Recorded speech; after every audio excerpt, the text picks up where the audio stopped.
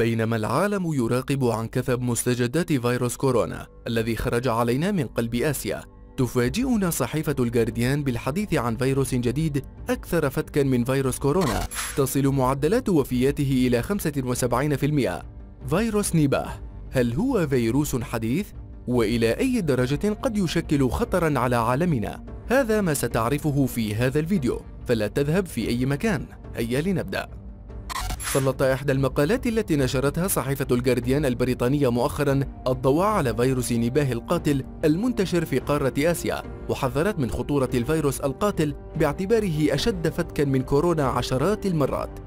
بدأ الأمر مع قيام فريق من مركز علوم الأمراض المعدية الناشئة في الصليب الأحمر التايلاندي يرأسه سوبابورن واشاربلوسادي نائبة رئيس المركز بالمزيد من الأبحاث عن فيروسات الجهاز التنفسي المنتشرة بين الخفافيش. وذلك منذ انتشار فيروس كورونا المستجد. وفي ضوء تلك الأبحاث تبين أن آسيا تعد موطنا لعدد كبير من الفيروسات المتنوعة. كلها تعتبر مميتة بالنسبة للبشر. فيروس نيباه هو واحد من تلك الفيروسات الخطيرة بل يعد من أخطرها حيث تتراوح معدلات وفياته من 40 إلى 75% وتعد خفافيش الفاكهة هي مصدر الفيروس وسبب انتشاره بين الناس.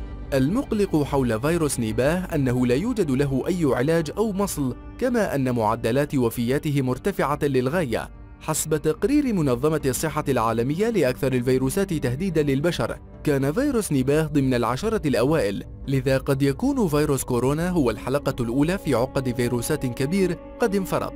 ويعتبر فيروس نيباه من أخطر الفيروسات لعدة أسباب أولها طول فترة حضانته. حيث يقال أنها تصل ل 45 يوما أي أن احتمالية نقله من شخص لآخر كبيرة. يسهل انتقاله بين مجموعة كبيرة من الحيوانات بالإضافة لتعدد أعراضه التي تتشابه مع العديد من الأمراض الشائعة والتي تتمثل في السعال والتهاب الحلق والتعب وظهور تورمات في الدماغ. إننا نتحدث عن فيروس ينبغي أن تتكاتف البشرية حقا كي لا ينتشر. بنغلاديش والهند هما من أوائل الدول التي ظهر بها الفيروس. ففي بنغلاديش مثلا تم اكتشاف 196 حالة إصابة بالفيروس بين عامي 2001 إلى عام 2011 الصادم أن 150 شخص من المصابين قد توفي. وفي ماليزيا قتل فيروس نباه 100 شخص في عام 1998 من هنا نجد أن فيروس نباه ليس مستجد كفيروس كورونا ولكن مقالة الجارديان كانت للتنبيه على خطورة الفيروس وأنه لم يتم اكتشاف أي علاج فعال له حتى يومنا هذا.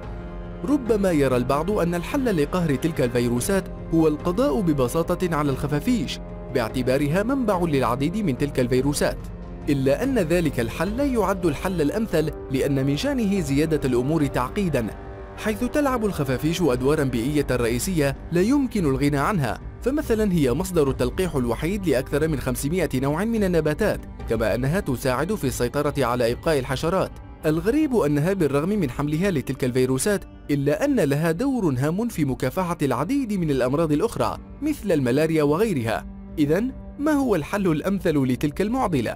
كل ما يمكن تأكيده حتى اليوم هو أن انتشار فيروس نباه في العالم لا يزال محدودا في أجزاء صغيرة من آسيا. ربما يزداد الأمر سوءا إن لم نأخذ حذرنا. أما عن كيفية الوقاية من تلك الفيروسات فهناك العديد من المنظمات العالمية الآن العاملة بالشأن الصحي في صرف ملايين الدولارات من أجل إيجاد إجابة عن ذلك السؤال.